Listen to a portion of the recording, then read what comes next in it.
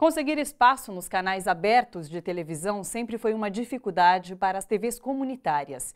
O Canal da Cidadania, que faz parte do conjunto de canais públicos dentro do Sistema Brasileiro de Televisão Digital, traz essa possibilidade e é mais uma ferramenta para a democratização da comunicação. A TV Comunitária do Rio luta para se manter no ar há 18 anos, trazendo na programação as pautas dos movimentos sociais cariocas. A transmissão em canal fechado, no entanto, contradiz o objetivo da emissora.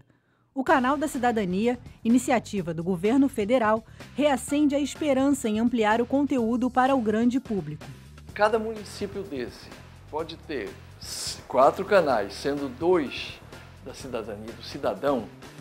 O que isso representa em termos de alcance para a população se sentir finalmente contemplada em termos de acesso aos meios de comunicação?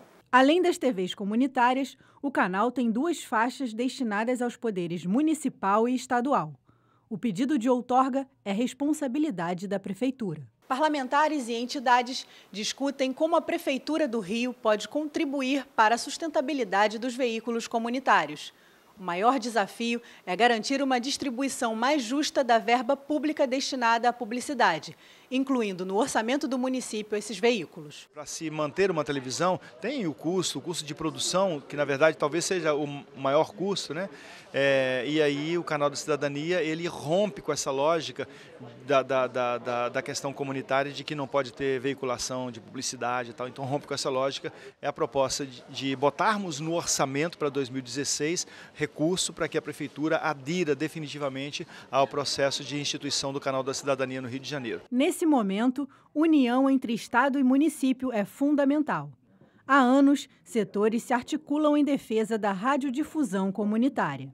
Uma das propostas foi um projeto que virou lei, que garante no mínimo 1% de toda a verba publicitária, às vezes chega a 100, 200 milhões, para rádios e TVs comunitárias. Foi aprovado há um ano atrás, a gente está fazendo agora o Cumpra-se.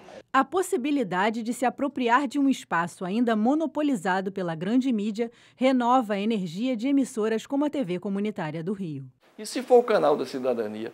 Nós vamos sentar e com justiça e já de forma muito atrasada, a, a, no mesmo lugar que a Rede Globo. Nós não vamos ter mais a preocupação de conseguir o vil metal para manter essa TV. Ela vai ser mantida.